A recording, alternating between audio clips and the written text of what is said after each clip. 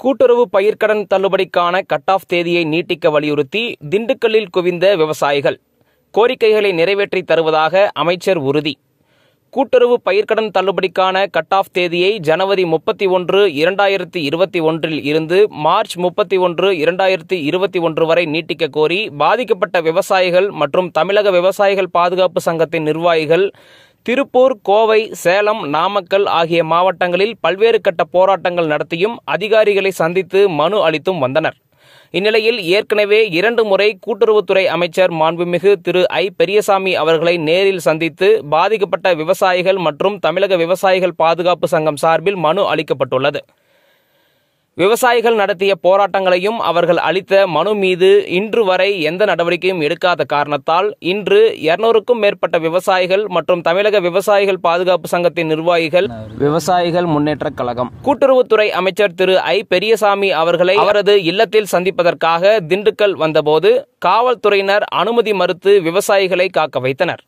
மேலும் சாலை வழியாக வந்த அமைச்சர் அவர்கள் விவசாயிகளிடம் கோரிக்கையை கேட்டறிந்து உள்ளாட்சி தேர்தலுக்கு பிறகு கோரிக்கையை நிறைவேற்றி தருவதாக இதுகுறித்து தமிழக முதல்வரிடம் ஆலோசனை மேற்கொண்டு உரிய நடவடிக்கை எடுப்பதாகவும் விவசாயிகளிடம் உறுதியளித்துள்ளார்.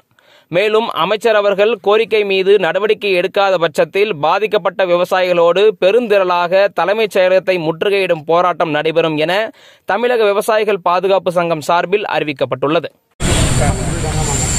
இப்போ நம்ம வந்து நம்ம இது வந்து தண்ணி ஆக்சுவலாக வந்து நீங்கள் ஒரு கோரிக்கை வச்சுருக்கீங்க அந்த கோரிக்கையை நிச்சயம் அது வந்து ஏன்னா அது ஃபினான்ஷியல் கமிட்மெண்ட் வருது ஆமாம் ஆமாம் ஆமாம் அதனால் வந்து ஃபினான்ஸ் லிஸ்ட்டு சரி எல்லாத்தையும் இருக்காங்க சரிங்க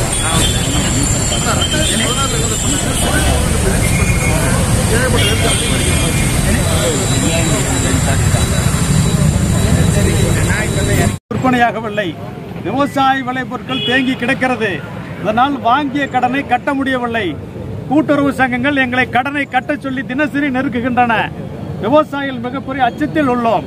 எனவே கூட்டுறவு பயிர்கடன் தள்ளுபடி திட்டத்தில் ஒரு பகுதி விவசாயிகளுக்கு மட்டுமே தற்போது பயனளிக்கப்பட்டுள்ளது.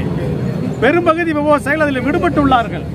அந்த விடுபட்டுள்ள விவசாயிகளையும் உடனடியாக அந்த திட்டத்தில் சேர்த்து அவர்களையும் பயனாளிகளாக சேர்த்து அவர்களுக்கும் கூட்டுறவு பயிர்களுக்கு தள்ளுபடி அளிக்க வேண்டும் என இன்று திண்டுக்கல் மாநகரிலே மாண்புமிகு கூட்டுறவுத்துறை அமைச்சர்களை சந்தித்து கோரிக்கை மனு கொடுக்க விவசாயிகள் தமிழக விவசாயிகள் பாதுகாப்பு சங்கம் விவசாயிகள் முன்னேற்ற கழகம் மற்றும் பல்வேறு கூட்டுறவு சங்கங்களில் இருந்த விவசாய சங்க பிரதிநிதிகள் எல்லாரும் வந்திருந்தோம்.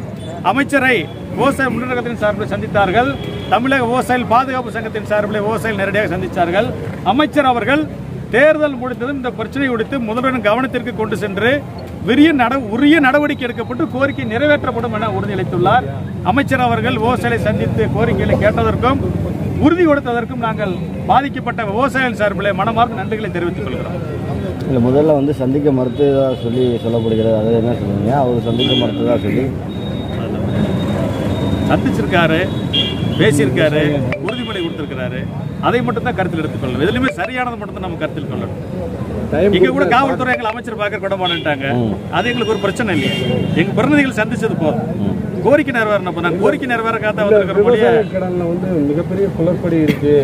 ஏன்னா போன ட்ரிப்பு வந்து நிறைய விவசாயிகள் அல்லாதவருக்கு கொடுத்துருக்காங்கன்னு அமைச்சரே சொல்லியிருக்காரு. இல்ல அவங்களை எல்லாம் அஹ், அந்த பட்டியல் மூணு ஒரு முறைக்கு ரெண்டு முறை இல்ல மூணு முறை ஆய்வு செய்து ஒரு சில இடங்களில் தவறுலாம் நடைபெற்றிருக்குது. அதையெல்லாம் நீக்கிட்டாங்க. என்னன்னா அந்த நோக்கத்துல போய் ஆய்வு பண்ணும்போது உண்மையான விவசாயிகளும் அதிகாரிகளுடைய கவனக்குறைவால் பாதிக்கப்பட்டிருக்காங்க.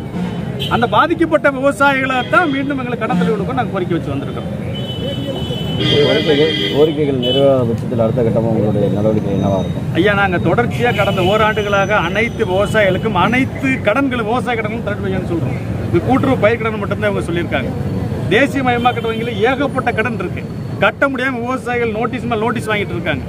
சிவிலில் வேற ஏற்றி விடுற அபாயம் வேற விவசாயிகளுக்கு தொடர்ந்துட்டு இருக்குது மத்திய கால கடன் ஒன்று நீண்ட காலமாக தள்ளி விடாமல் இருக்குது ஸோ படிப்படியாக பண்ணுறேன்னு சொல்லியிருக்காங்க பண்ணி வாங்க வரைக்கும் நாங்களும் வாய மாட்டோம் தொடர்ச்சி போராடுவோம்.